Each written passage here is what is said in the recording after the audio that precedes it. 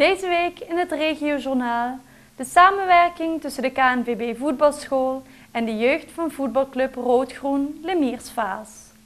Zij verzorgden activiteiten om deze voetbalspelende jeugd uit te dagen. Ja, beste mensen, ik sta hier in Lemiers met uh, René Dekkers neven mij. Hij is mede verantwoordelijk voor het project wat we hier kunnen bekijken. Het is opgezet door de KNVB en doen, doen tamelijk veel voetbalverenigingen uit de regio met. René, vertel eens over dit project. Nou, eh, de KNVB voetbalschool die is vorig jaar opgezet. Ze zijn begonnen met een pilot, aan Oost toen uit de regio benaderd om daar mee te werken. En uh, de bedoeling is middels een vier tot vijftal activiteiten de jeugd nog eens extra mogelijkheden te bieden middels het volgen van trainingen om uh, beter te leren voetballen. Hey, dat is toch een geweldig project, denk ik toch. Hè? Vertel me eens, uh, wat kregen die kinderen allemaal geleerd? En de technische leiding van u, die is natuurlijk ook uh, door wat bijgeschoold. Vertel er eens wat over. Ja, zoals gezegd, um, het is KNVB voetbalschool. Dus uh, verconformeren ons dan aan de visie van de KNVB en ook aan de oefenvormen. Dat doet de club sowieso in grote mate al. Uh, voor, trainen dus met de uh, echt volgens de KNVB oefenvormen. En um, het jeugdkader van ons van die verenigingen daar met. Door dat voor uh, hun ook begeleiden. Er zijn ook technische jeugdcoördinatoren aanwezig die de trainers dan weer begeleiden in de manier van trainen en ook van coachen. Zeker nee, wat ik hier zou willen weten, uh, Lemirsia, valscombinatie, LVC, dit er met, maar er zijn nog andere voetbalclubs met uh, gemuid. En het is niet alleen u, had ik begrijpen, maar het zal nog meer dag plaatsvinden. Wie gaat dat? Ja, dat klopt. Uh, voorhand hij al uh, een vijftal jaren samenwerkingsverband met de voetbalvereniging uit de regio. En dat betreft sportclub WDZ en Simpeveld. En IJs is daarbij en Roodgroen en Veilen daar. En uh, we doen dus samen al sowieso diverse activiteiten organiseren door het jaar heen.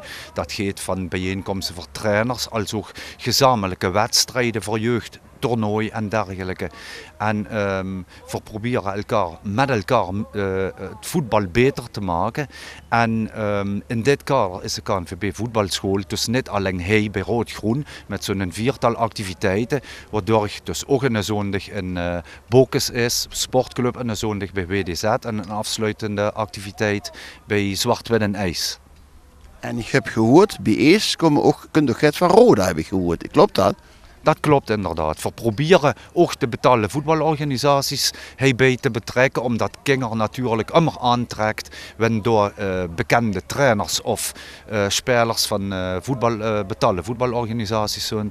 Um, tot nu toe aan in ieder geval de zekerheid dat de afsluitende activiteit bij Zwart-Wit IJs, dat door jeugdtrainers van Roda JC aanwezig zullen zijn. En dan ook weer ons jeugdkader begeleiden in het geven van trainen. Hey, dat is echt chic. Ik denk dat de kinderen dat allemaal heel erg op prijs zullen stellen. En ook natuurlijk ook voor hun spannend is. Wat ik nog ten slotte wil vragen aan is. Um, de kinderen die zitten niet alleen even te voetballen, maar we vinden het ook als ouders van de kinderen wat voetballen doen belangrijk. Dat ze zich ook een beetje conformeren aan de moderne tijd. Dat ze werden bijgebracht, uh, de, de zaken zoals normen en waarden. Dat ze sportief zijn, dat ze inderdaad zich goed gedragen. Ik neem maar dat die er ook op let als jeugdleiders. Ja, dat klopt inderdaad. Dat is niet zozeer de KNVB voetbalschool die dat uitdraagt, maar het is wel logisch. Uh, ligt in het verlengde de clubzij. Uh, en dat is een, een, traditie eigenlijk al door het ganse land geworden. Dat ze een uh, normen- en waardebeleid hanteren. Waar de kinderen zich aan moeten houden. En waar dus ook de kinderen op gewezen werd dat er bepaalde voorwaarden gewoon binnen de vereniging zijn om lid te blijven van de vereniging. Om ook sportief gedrag te tonen richting tegenstanders en scheidsrechters. En dat we echt wel nauwlettend opgelet. Hey, prima, dat is het geweldig goed bezig. Ik bedank je voor dit korte interview, René. En uh, we gaan nu weer kijken op de velden wat allemaal die voetbalkers aan het door zijn, wat ze allemaal krijgen bijgeleerd. Dankjewel. We gaan hier een partijtje doen. 1, 2, 3, 4, 5. Oh, nu hebben we nog te veel. 1, 2, 3, 4. Wacht, we doen nog rood genoeg,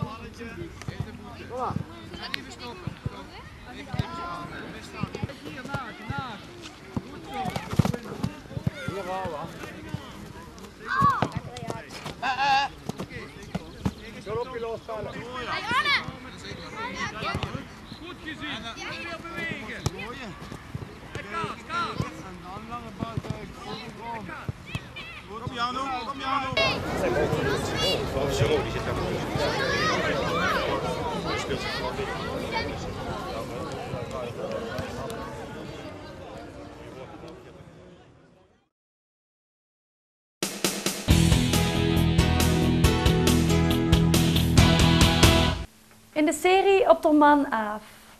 Dit voorjaar begon met temperaturen van 15 tot 20 graden. Heerlijk. Hebt u ook lentekriebels bij dit mooie weer? Blijf dan kijken.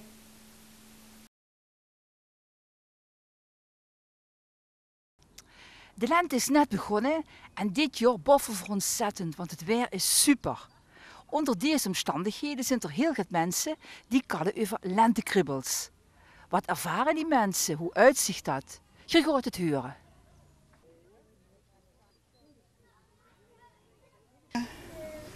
Äh, die Leute um einen rum sind besser drauf. Beim Autofahren ist man besser drauf. Äh, allgemein. Allgemeines Wohlbefinden. Allgemeines Wohlbefinden. Toll. Und wie ist das bei Ihnen? Haben Sie noch was zuzufügen? Ja, äh, Hausputz. Nou, niet, niet. Nee, ik ben ook pensioneerd en nou, ieder die me vult te kribbelen. Nee, kribbelt er niks meer. Met het vroeger maakt veel spaß. In wat voor opzicht? Uh, we alle aan frisse lucht te komen. En uh, nog eens zo goed te komen en uh, andere lui nog eens te zien. En met de enkelkingen die nog op de toren nog op je jangen. En die komen er weer af. Vind je het leuk? Eh, aan de lente vind ik leuk dat het lekker warm weer is en dat je lekker naar de speeltuin kunt. En ik, en ik vind het leuk om te, dan te gaan skiën in de lente. Wie uitzicht dat? door hier te gaan zitten met dit mooie weer te genieten van de zon van het voorjaar. Met de kinderen lekker te revotten zodat ze niet altijd voor de televisie hangen. Dus dat is voor u het ultieme lentegevoel. Er zijn nog wel andere ultieme lentegevullen, maar daar zal we het maar niet over hebben hier. Ja. Wat voel je dan? Wat wil je dan? Ja, ik wil dan eigenlijk een heel graag thuis zijn. Kan ik lekker, maar dan kan ik lekker fietsen en zo. En dingen doen. En ik, ja, dan met mijn vrienden spelen buiten. Jammer dat die school ertussen zit, hè? Ja, daarom. Zo leuk aan de lente omdat ja, de bloesem komt aan de bomen en je kan heerlijk buiten spelen en zwemmen en zo. En bij jou is, heb je nog iets anders dat je leuk vindt? Nou, als je dan, als het lente is, kan je ook met de motor en zo en, en, met, de, en met de crossmotor door de, door de weien rijden. Ga jij zelf met de crossmotor? Maar het is in elk geval eh, anders wie is, want het zo weer een winter is. Hè. Ja. Dan kiezen de lentekribbels van alleen. En het uitzicht ook met goed poetsen en dan zoek het allemaal. Dat, eh, Zit er al verdig met poetsen? ik ben altijd fertig met poetsen. Äh, ja, een klein beetje. En hoe uitzicht dat? Ja, door het zonnetje. Dat is heerlijk, vrolijk. Dus zin om wat te doen. Dus je bent veel vrolijker nog dan normaal. Ja, ja. U merkt dat goed? Ja, Nee, die had ik niet meer. Nee, wilt je graag niks bij het schwanen weer? Jawel, ik vind het prachtig, maar alles gegaan werd. De kribbels an, ey. Ja, Frühlingsgefühle habe ich sicher. Also hier im Bauch, wenn das schöne Wetter kommt, der Frühling kommt, dann fühlt man sich ja wieder ganz, wie soll ich sagen, das Leben kommt wieder in seinem Körper und im Geist und man hat Lust, einfach rauszugehen. Mehr Gutes, mehr Sonnentanke, wie man das sagt.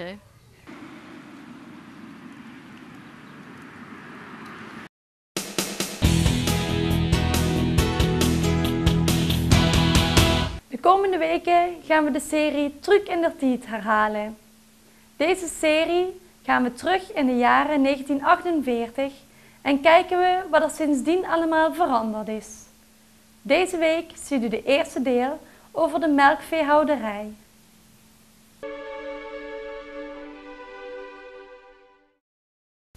Fotograaf en filmer Huub Leufkens heeft op een prachtige manier het landschap van Zuid-Limburg van vlak na de oorlog in beeld gebracht.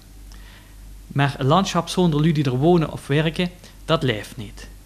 Maar gelukkig heeft Leufkens daar voldoende oog voor gehad en hij heeft zich met name gericht op het boerenleven. In deze aflevering een gesprek met twee agrarische ondernemers en verzeenten wat in die tijdspanne van 60 jaar allemaal veranderd is. Zo worden vroeger een ganse hoop in het veld aan het werken met een peet, met een schoefel en tegenwoordig zuiste als je geluk has, een loonwerker met een groot machine.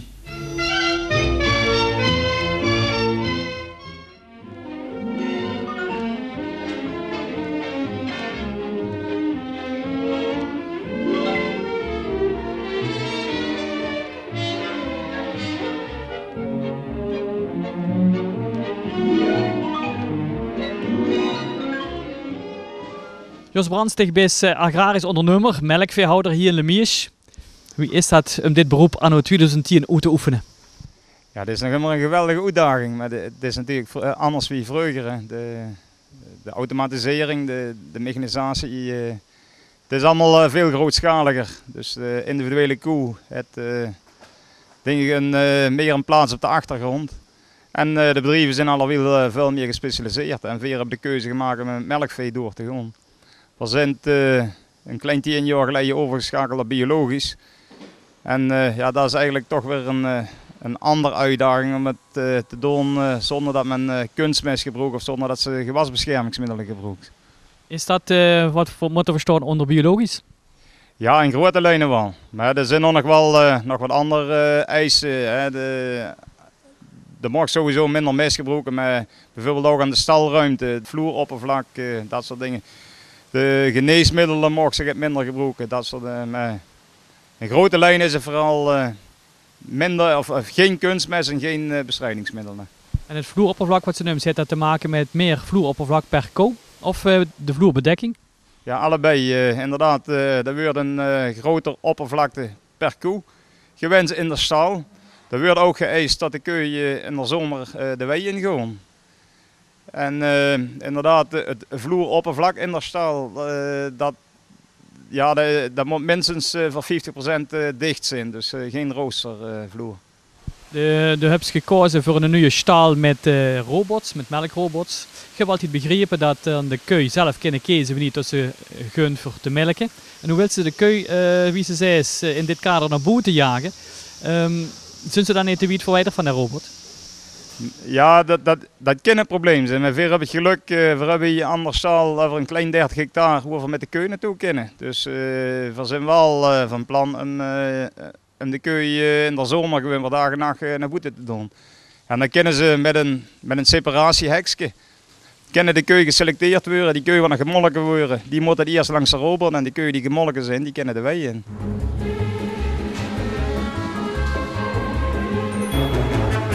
Bij zo'n melkrobot gaat de koe op een weegvloer.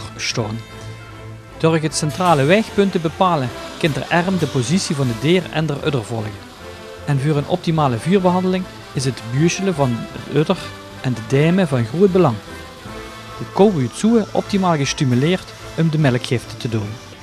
Buurschelen staat ook garant voor een optimale reiniging en voor een stimulatie van de dijmen en van de udder.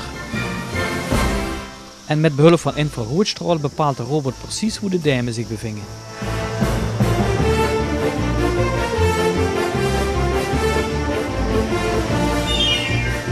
De melkrobot herkent de koe door de halsband en sluit alle productiegegevens op.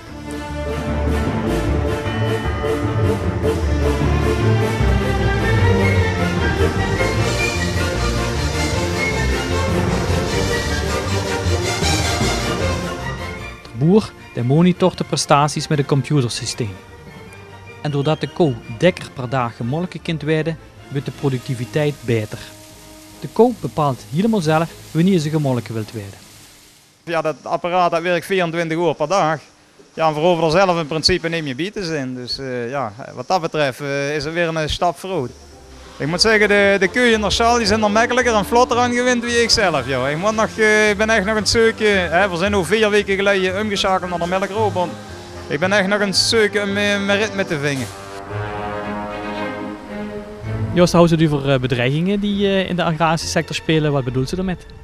Ja, ik denk dat de grootste bedreiging op het ogenblik is dat de, de markt vrijer wordt. Dus de, we moeten gaan produceren voor de wereldmarkt. De quotering wordt afgeschaft. En ja, dan de bedreiging kan zijn dat de melkprijs helemaal onderhoed gaat. Dus dat ook ja, dat de inkomsten duidelijk minder worden. Van de andere kant ligt er ook wel weer een kans, want we kunnen vrij produceren. Dus wat dat betreft ben ik wel de voorstander van afschaffing van die quotering. Maar ik hoop wel dat de melkprijs enigszins in de been blijft en dat we kunnen concurreren. De ligt met die bedrijven een prachtig natuurgebied. Uh, met, ik kan me voorstellen dat de natuur om zich heen en het milieu ook een bedreiging kunnen zien. Ja, en de natuur kan in die zin een bedreiging zijn, omdat er nogal wat eh, gronden verworven worden door natuurinstanties. Hè, uh, onder andere de ecologische hoofdstructuur. En uh, dus wat dat betreft zijn de grote concurrent op de grondmarkt. Maar van de andere kant uh, ja, kennen, liggen er ook weer kansen. Dus uh, we kunnen uh, beheersvergoedingen opstrijken. we krijgen vergoedingen voor het onderhoud van hagen en, en, en, en graften en, en zoiets. Dus het zijn niet alleen maar bedreigingen. Ja, en het is bovendien een gegeven tegenwoordig. Dus ja, we moeten maatschappelijk verantwoord produceren. Ja, en dat, ja, dat proberen we ook als melkveehouders en ja, misschien als biologisch melkveehouder dat dat nog een steentje extra deze.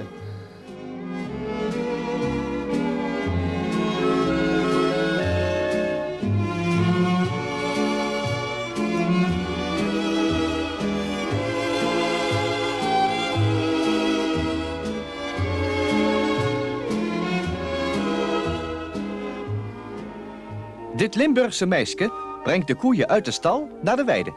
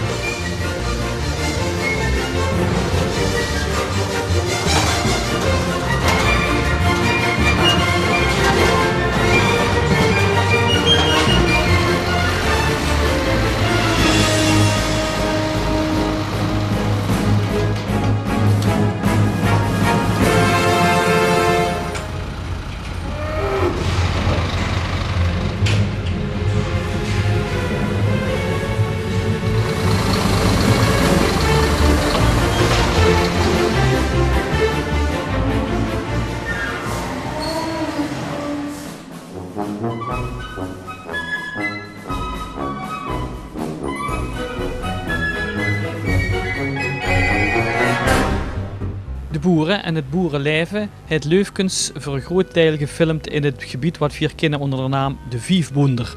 Dat liep grofweg gezegd tussen Eitenaken en Ubaksberg. De Ruud Schillings is in dat gebied melkveehouder. Wie is het om in de Viefboender die bedrijf te hebben? Ja, vroeger wordt het uh, links en rechts van de Viefboendersweg, uh, wie ze mij verteld hebben, aan allebei de kanten, graften en weilanden en... Uh, we zitten aan alle twee kanten uh, maar dat is met met uitgestorven. En met de ruilverkaveling 35 jaar geleden is aan de uh, westkant heel veel akkerbouw gestart. En aan zuidkant ja, ging dat niet, omdat er graven, graven, graaf zoot. En uh, ja, er zijn dan nog uh, uh, enige blijven melken en de huur vier dan bij hier. Maar dan hebben ze toch gehad langs de weg, die, langs die 5 kilometer, vijf bunder. En ja, vier moeten dit wat niet te ploegen is, dan toch maar in wij blijven houden. Het is niet te plogen vanwege die graften, vanwege ja, het stiele gedeelte, zeg maar. Vanwege de graften, het stiele gedeelte en ook uh, vanwege de grondsoort. Uh, hier zo'n plaatsje zit maar 5 centimeter grond en eronder zit mergel en, en uh, kalksteen. En, uh, dus dat ja, kent ze eigenlijk gaan niet ploegen, dat zit ze alleen maar in de steen. Het zou goed zijn voor wienbouw, eventueel. Dat zou... En dat is hier, hè? Dat is ook. Heb ze zelf nooit gedacht om uh, droeven aan te planten? Nee, ik kom bij de keuken en daar heb ik uh, mijn dingen en ook hobby. En uh, ik vind dat ja, gewoon het, het, met vier en veldwerk. En uh, het, dag in dag goed tussen die wienerranken zo, daar heb ik niet zoveel.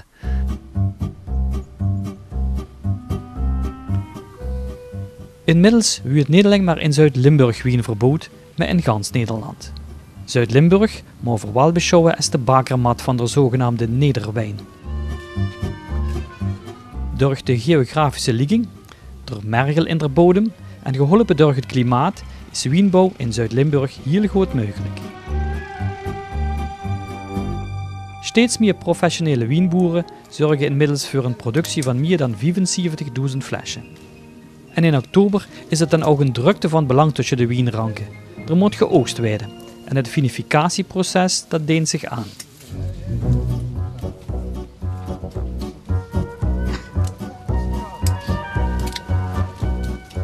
In ons gebied de Viefboender vingen we sinds 1991 wijngoed Vromberg, dat een oppervlakte bestriek van 3 hectare.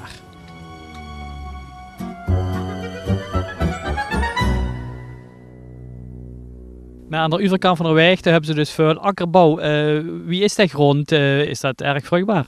Dat is uh, de heel vruchtbare lusgrond. Het is alleen ja, één probleem, dat erosiegevoelige van die hellingen. En dat is dan door die, die, die ja, moet ik het zeggen, de niet kerende grondbewerking en die, die bodembedekkeren zijn. Zo het is dat toch wel behoorlijk nu binnen de perken dat het de goede grond afspeelt. En zo te zien vingen voor ogen de toekomst toch boeren in der Viefboender.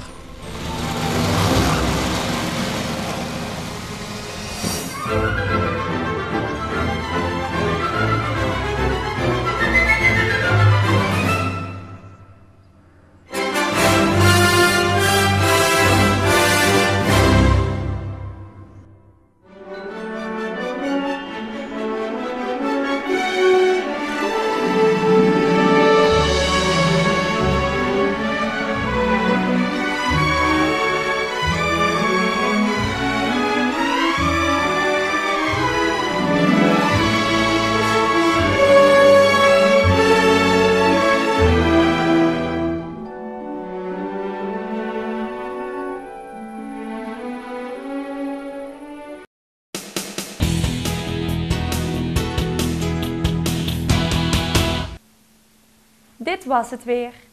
Heeft u de uitzending gemist? Geen paniek. U kunt hem terugkijken op www.omroepkrijtland.nl. Adieu.